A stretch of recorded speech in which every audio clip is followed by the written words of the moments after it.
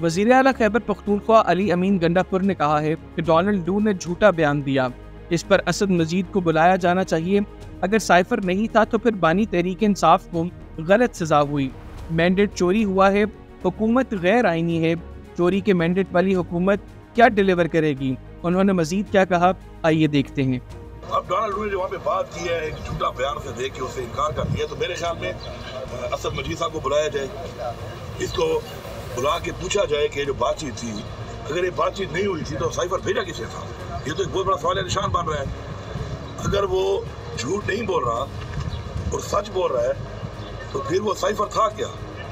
और जिस साइफर के अंदर इमरान खान साहब को इस वक्त सजा दी जा, जा चुकी है इलीगल सजा तो अगर साइफर था ही नहीं तो सजा किस बात की? और अगर था तो फिर साजिश थी और साजिश के ऊपर हमें बिल्कुल उस पर एहतजाज भी हम करते हैं। वज़ीर अला खैबर पख्तूनख्वा अली अमीन गंडापुर ने कहा है कि डोनाल्ड डू ने झूठा बयान दिया। इस पर असद मजीद को बुलाया जाना चाहिए। अगर साइफर नहीं था तो फिर बानी तहरीक इंसाफ को गलत सजा हुई। मैंडेट चोरी हुआ है, हुकूमत गैर आइनी है। चोरी के मैंडेट वाली हुकूमत क्या डिलीवर करेगी? उन्होंने मजीद क्या कहा? आइए देखते हैं। अब डोनाल्ड ने जो वहाँ पे बात की है, एक झूठा बयान से देख के उसे इनकार कर दिया तो मेरे ख्याल में असद मजीद साहब को बुलाया जाए। इसको बुला के पूछा जाए कि जो बातचीत थी अगर ये बातचीत नहीं हुई थी तो साइफर भेजा किसे था? ये तो एक बहुत बड़ा सवाल निशान बन रहा है। अगर वो झूठ नहीं बोल रहा और सच बोल रहा है तो फिर वो साइफर था क्या?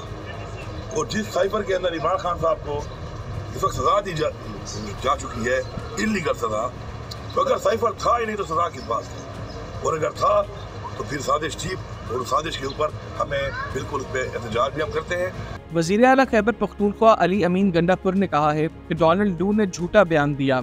इस पर असद मजीद को बुलाया जाना चाहिए। अगर साइफर नहीं था तो फिर बानी तहरीक इंसाफ को गलत सजा हुई। मैंडेट चोरी हुआ है, हुकूमत गैर आइनी है। चोरी के मैंडेट वाली हुकूमत क्या डिलीवर करेगी? उन्होंने मजीद क्या कहा?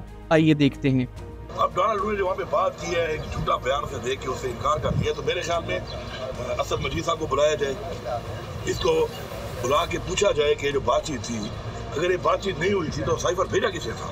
ये तो एक बहुत बड़ा सवाल निशान बन रहा है। अगर वो झूठ नहीं बोल रहा और सच बोल रहा है तो फिर वो साइफर था क्या?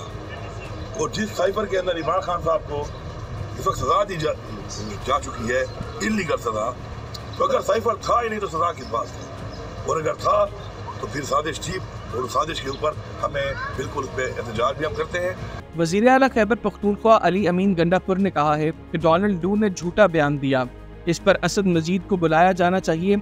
अगर साइफर नहीं था तो फिर बानी तहरीक इंसाफ को गलत सजा हुई। मैंडेट चोरी हुआ है, हुकूमत गैर आइनी है।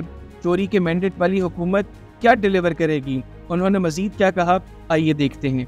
अब डोनाल्ड ने जो वहाँ पे बात की है एक झूठा बयान से देख के उसे इनकार कर दिया तो मेरे ख्याल में असद मजीद साहब को बुलाया जाए। इसको बुला के पूछा जाए कि जो बातचीत थी अगर ये बातचीत नहीं हुई थी तो साइफर भेजा किसे था? ये तो एक बहुत बड़ा सवाल निशान बन रहा है।